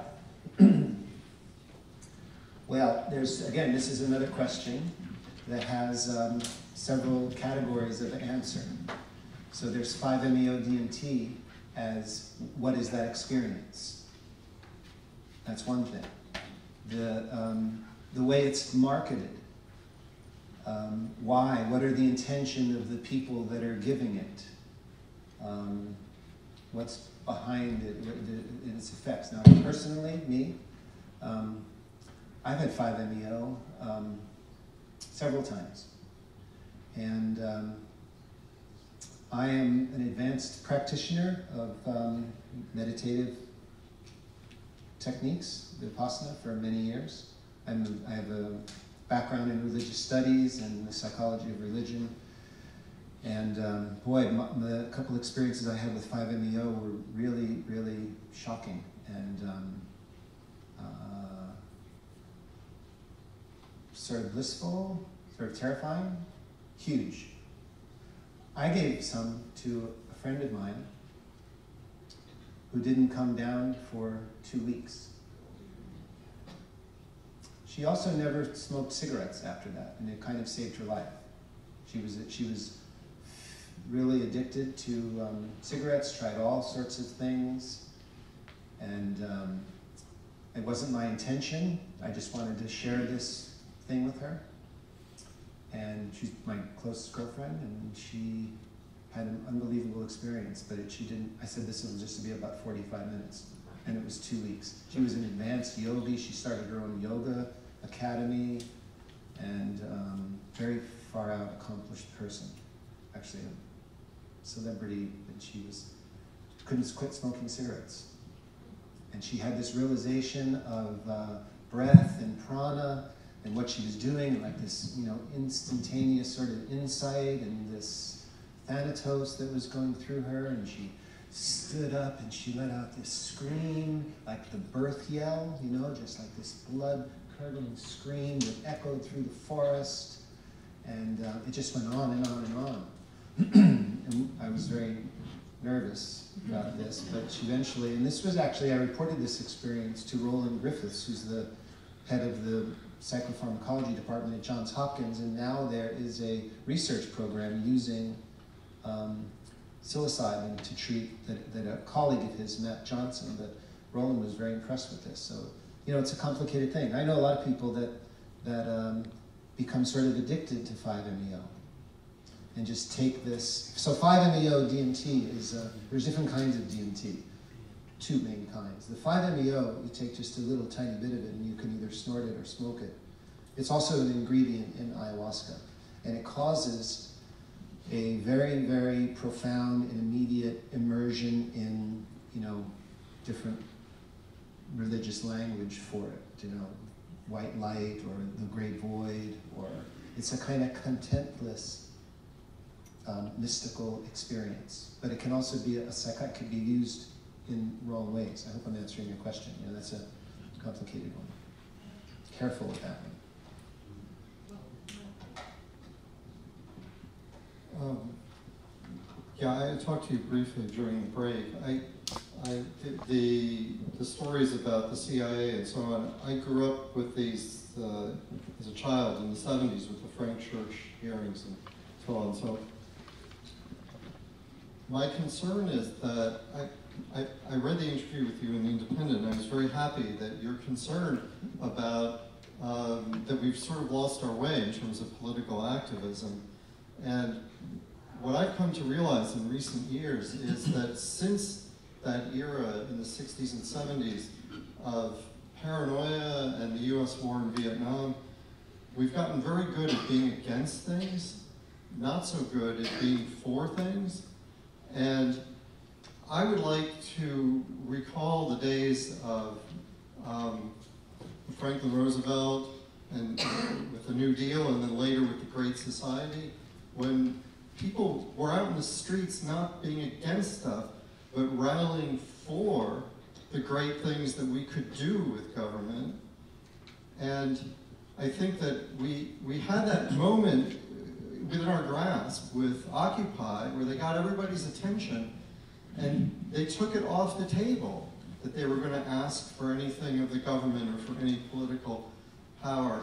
I think that we have that opportunity uh, if we have a vision and if we ask for it. And I'm just wondering if you think that that might be what we, what we need.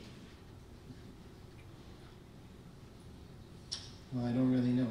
Um, I wasn't really that in touch with the Occupy movement. It seemed to me to be um, an op to siphon off dissent into a place that didn't really effectively do anything. That it was a, like a lot of the 60s movements that were supposedly political activism were actually co-opted like the Weather Underground, that wasn't really a radical anti-war movement, that was a anti-anti-war movement. Yeah, no, no, I said that was the wrong approach. Yeah. I was saying that the right approach would be to revive what got people in the streets in the 1930s and in the 1960s for a positive vision of the Great Society and the New Deal.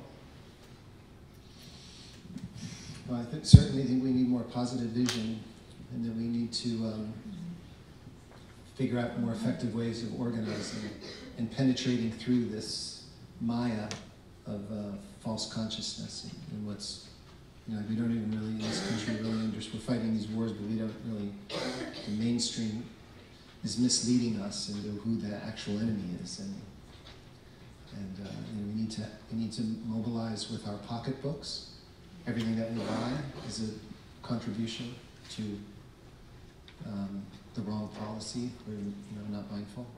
That's a complicated question. That's not one we can just answer right away here. So one Thank you. more question. one more question before we close the evening. I had a question for you. I just was wondering if you could talk about Iboga. Wow, yeah, I didn't even mention that. Iboga is really fascinating.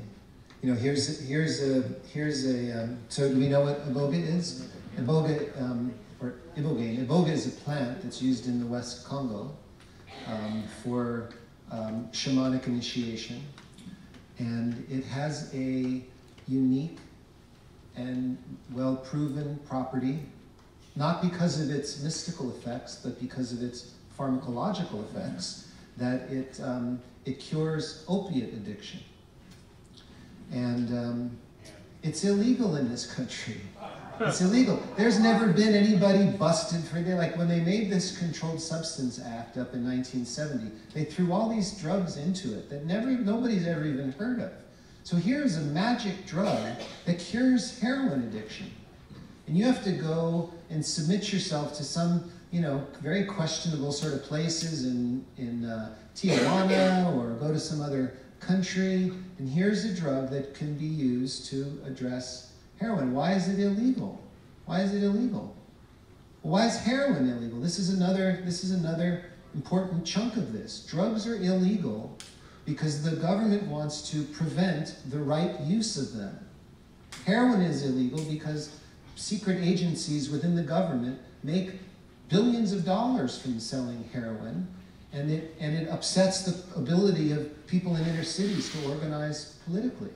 And so if there's a drug that cures heroin addiction in a couple of days, well, you can't have that.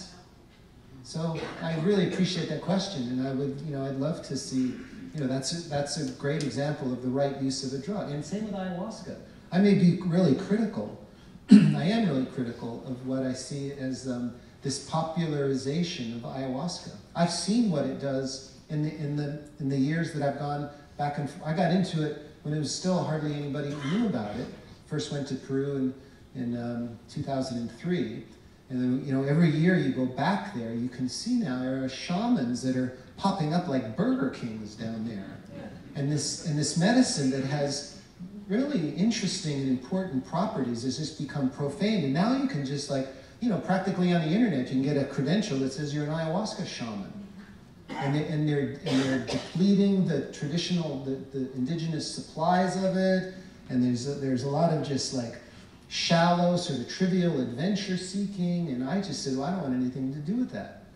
And I came back and started to be a cannabis farmer, but there are equally as many miraculous breakthroughs and things. And, you know, the same thing with, maybe true with ibogaine. We have to, we have to be clear what we're talking about, the effects and the, and the context around it. But definitely works for treating heroin addiction. One more, yes. Uh, a recent book on the early use of psychedelics in Christianity, the authors suggest that Gordon Wasson deliberately steered everybody away from his discoveries related to the use of those hallucinogens because of his connection with the Vatican. Very strong connection, they said. What are your thoughts on that? Well, there's a lot of funny business with Gordon Wasson. There's also a lot of funny business with Christianity. And so this is a this would be a, a long question and a conversation. What are you talking about the, the book, The Psychedelic Gospels? Yeah. Okay, so I haven't read that book, but I was hoping Jerry would be here tonight. We were just starting to meet each other and to talk about these things. So um, yeah, Wasson, um, there was a, a, scholar, John Allegro, who came up with a theory about uh, early Christian mushroom use that Allegro, that Wasson interfered with. Um, I, in, in, an interview that I did, Gordon and I talked about that, and he had his reasons for it. But the whole thing, it's complicated because, I mean, Christianity is a lot of monkey business. Like the early use of psychedelics by Jesus, you have to convince me that Jesus existed first before I'm going to go there. You know, that's a long conversation, but thanks for the question. Thank you so much, Robert.